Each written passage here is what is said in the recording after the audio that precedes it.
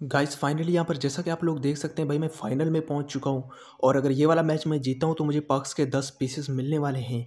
और एक बार पक्स वाले सेक्शन में मैं आपको चल कर दिखाऊँ तो पक्स के ऑलरेडी मेरे पास चालीस पीसेज हो चुके हैं।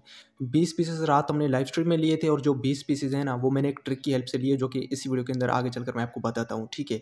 तो यानी कि ये वाला अगर मैं एक मैच जीतता हूँ तो भाई मुझे जो है बबल पक्स मेरे पास अनलॉक हो जाएँगे। तो यहाँ पर से गाइस हम लोग फाइनल मैच स्टार्ट कर देते हैं। आई होप यार बस हमारे साथ हैकर ना आए और हमारा कोई सब्सक्राइबर ना आए बस। कोई नॉर्मल प्लेयर आना चाहिए जो फेयर खेल रहा हो भाई ये। तो और गाइस ट्रिक की बात करें तो भाई, जब तक मैं यूज़ कर रहा था ट्रिक तो सही से काम कर रही थी। लेकिन जैसे ही मैं आप लोगों को ये ट्रिक बताऊँगा ना तो ये ट्रिक आपके पास काम नहीं करेगी। आप सोच रहे होंगे कि भाई ऐसा कैसे? तो भाई, क्योंकि जो मैं आपको बताऊँगा तो उस टाइम पर सभी लोग वही ट्रिक यूज़ करना स्टार्ट कर देंगे। तो भाई, असल में ट्रिक यही थी कि उस टाइम पर कोई भी प्ले नहीं करता था।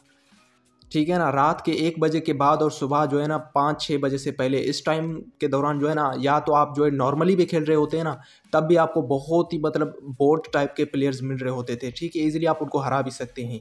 या तो फिर अगर आपके पास दो आईडीज़ हैं तो ईजिली आप मैचेस कनेक्ट करके भी ना वो कर सकते हैं, ये इवेंट कंप्लीट कर सकते हैं। लेकिन जैसे ही मैं, मैंने आप लोग को ये चीज़ बता दी है, अब से ये ट्रिक काम नहीं करेगी। भाई गाइज़ यहाँ पर मैच की बात करें तो यहाँ पर से आप जैसा कि देख सकते हैं कि भाई बहुत ही मतलब डिफ़िकल्ट सिचुएशन है। मेरे पास काफ़ी सारे फंसे हुए हैं लेकिन मैं पूरी ट्राई करूँगा इनको निकालने की क्योंकि यहाँ पर एक शॉट मिस होने का मतलब है बबल पक्स को मिस कर देना जो कि मैं बिल्कुल भी नहीं चाहता। तो इसको अभी यहाँ पर आ, नहीं यहाँ पर मैं कैसे खेल सकता हूँ भाई?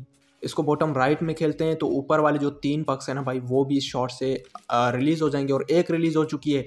अभी उस वाली एक शॉट को मैं टॉप राइट में खेलूँगा तो दूसरी साइड वाले जो दो पक्स हैं ना भाई वो भी रिलीज़ हो जाएँगे। तो भाई ये सारे पक्स हमारे ओपन हो चुके हैं बस यहाँ पर मैं कोई गलती नहीं करना चाहता।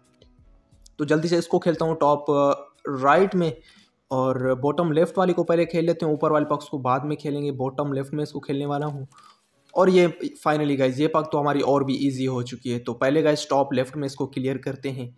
उसके बाद लास्ट वाली जो पक है ना, उसको दोबारा से टॉप लेफ़्ट में खेलेंगे। और गाइज़ फाइनली यहाँ पर आपके भाई ने यहाँ पर एक और फाइनल मैच विन कर लिया और इसी के साथ हमारे पास जो बबल पक्स है न्यू वाले पक्स वो भी फाइनली अनलॉक हो चुके हैं। तो यहाँ पर यार ये चीज़ मुझे मिनी क्लिप की एक तो बिल्कुल भी पसंद नहीं आती। जब हम सारे पक्स हिट कर देते हैं, फिर भी भाई हम इतना वेट करवा लेते हैं ये लोग। मुझे पता है ओपोनेंट भाग जाता है, लेकिन भाई हमने तो सारे पक्स हिट कर दिए ना तो वेट करवाने का क्या मतलब लॉजिक बनता है यार? तो चलें यहाँ पर भाई, इसको इग्नोर करते हैं और यहाँ पर अपने पक्ष को थोड़ा सा देखते हैं। भाई, ये रहे बबल पक्ष। गाइज़ देखने में भी काफ़ी अच्छे हैं और इनको जब आप लेकर खेलते हैं तो काफ़ी अच्छे लग रहे हैं।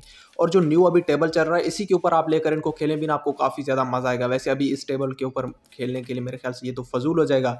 क्योंकि ये पक्ष तो हमने ऑलरेडी अनलॉक कर लिए हैं। बाकी आ, हम लोग वेट करेंगे कि नेक्स्ट भाई इस इवेंट के अंदर कौन सा रिवॉर्ड आने वाला है। भाई मैं तो बहुत ज़्यादा एक्साइटेड हूँ। यहाँ पर हमें हमारे पास एक और पक्ष आने चाहिए। आप लोग कमेंट्स करके बताना कि आप लोग कौन से पक्ष जो है इस इवेंट के अंदर अगेन से देखना चाहते हो। बाकी वीडियो अगर आप लोग को पसंद आई तो भाई वीडियो को लाइक ज़रूर करना। चैनल पर नहीं हो तो सब्सक्राइब कर लेना। बाकी आज की इस वीडियो में इतना ही। हम लोग मिलते हैं किसी नेक्स्ट वीडियो में। तब तक के लिए इजाज़त दीजिए। दुआओं में याद रखिए। थैंक्स फॉर वॉचिंग अल्लाह हाफिज़।